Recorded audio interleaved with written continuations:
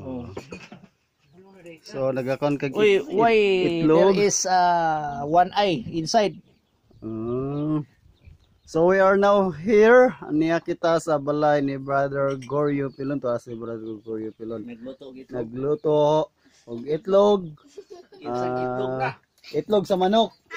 Ah, gikan mi sa libas. Oh, Nagwali wait na po, mi Brad. dito. Og ah, si Brad Luciano atong i-update ang nang panghitabo dire nga adunay. Kaya tagan may duha ka buok itlog. Oo. Ako wag ikaw na ako kanina oy. Na- Nasipyat og video si Brad. video vi- sige ko yaw yaw yaw yaw nya siya. Balik na ito. Sige. Wa dai niya gi-on ang video. Bisag picture wala.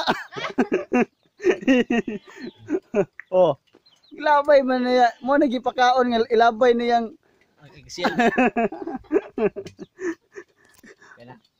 Okay, okay. Oo.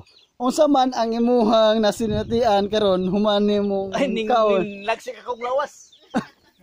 Luto ni itlog. Ano na kay gibali? Naamoy mga itlog diya, nga presko, pwede niyo na inyong kilawon. Oh, so ani ame sa farm ni Brother Goryo Pilon. Oh. Sa farm niya naapod ang local church building nga iyang ginatuluan Mm. as a preacher. So, murag multi-purpose niya ang iyang area dire. Nay baka. Na church building na ang iyang balay Mm. na ang iyang uma ah, multi-purpose area dahil ni dire Brad. Mao na yung pamilya. Oh. Tay manok nga magdagan-dagan, no panibdakpi pero morning. Muna si Brother Goryo Pilon ang amo ang abtik nga igsoon diya kay Kristo. Ara ang inyong igsoon si Brother Mark Tumandan. Si Brad Kalinaw Luciano. sa paminaw. Oh.